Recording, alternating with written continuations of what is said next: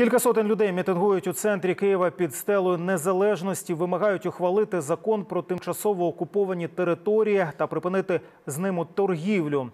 Зараз там працює наш журналіст Олексій Гомон. Він з нами на прямому зв'язку. Тож Олексію, чи спокійно сьогодні у центрі столиці?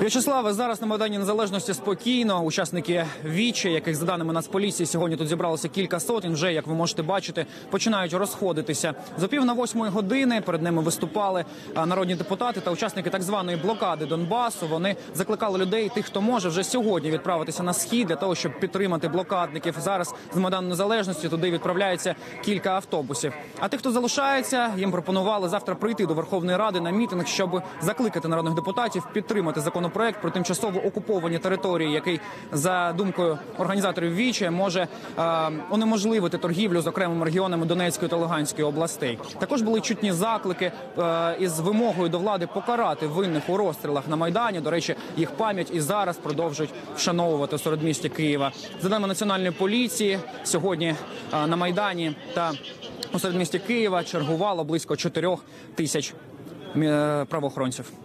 Вячеславе.